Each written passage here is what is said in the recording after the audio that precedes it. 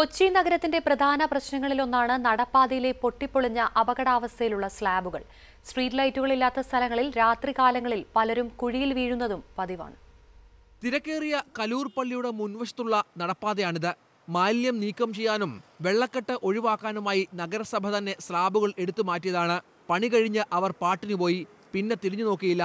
കലൂരെ മാത്രം സ്ഥിതിയല്ലിത് M G റോഡിലേക്ക് വന്നാൽ ഇതിലും കഷ്ടമാണ്. വ്യാപാര സ്ഥാപനങ്ങളുടെ മുന്നിലുള്ള പാതകളിലെ സ്ലാബുകൾ മിക്കതും അപകടകരമായ സ്ഥിതിയിൽ. ക്ലീൻ ചെയ്യാനാണ് ഓപ്പൺ ചെയ്തത്. ഓക്കെ. സമ്മതിക്കണം നല്ല കാര്യം. പക്ഷേ അത് മുഴുവനാക്കണ്ടേ? ഇത് അവരുടെ പണി കഴിഞ്ഞാൽ അവർ പോയി. എത്ര പേർക്ക് നമ്മൾ അവിടെ അപ്പുറത്തെ സൈഡിലൊക്കെ ഇതുപോലെ ഉണ്ട്? ഇപ്പോൾ സ്ലാബ് കൊടിഞ്ഞ് കിടക്കുന്നതാണ് ഇവിടെ എല്ലാവിടെയും തന്നെ സംഭവങ്ങളാണ്. പൊട്ടിപ്പൊളിഞ്ഞ സ്ലാബുകൾക്കുള്ളിൽ കാലുകുടുങ്ങുന്നത് സ്ഥിരമാണ്. ഭയം കൊണ്ടാണ് പലരും രക്ഷപ്പെടുന്നത്. രാത്രിയായാൽ സ്ഥിതി അതീവ ഗുരുതരമാണ്. മിക്ക സ്ഥലങ്ങളിലും സ്ട്രീറ്റ് ലൈറ്റ് ഇല്ല. ഇരുചക്ര വാഹനങ്ങളും കാൽനടക്കാരും അപകടത്തിൽപ്പെടുന്നത് പതിവ്. വീഴാനുള്ള സാധ്യതയുണ്ട്. മഴയത്ത് ഭയങ്കര ബുദ്ധിമുട്ടാണ്. ഓ വഴിയിലൊക്കെ ഭയങ്കര ബുദ്ധിമുട്ടുണ്ടാക്കുന്നുണ്ട്.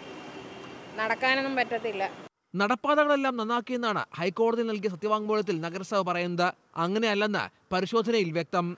റോഡിലൂടെ വാഹനത്തിൽ യാത്ര ചെയ്യാമെന്ന് വെച്ചാൽ ഗട്ടറിൽ വീണ് നടുവൊടിയും എന്നാൽ റോഡ് സൈഡിലൂടെ നടന്നു പോകാമെന്ന് വെച്ചാലോ കൈയും കാലും ഈ സ്ലാബുകൾക്കിടയിൽ വീണ് ഒടിയും. കൊച്ചിയിൽ നിന്ന് രഞ്ജിത് രാമേന്ദ്രൻ ഏഷ്യാനെറ്റ് ന്യൂസ്.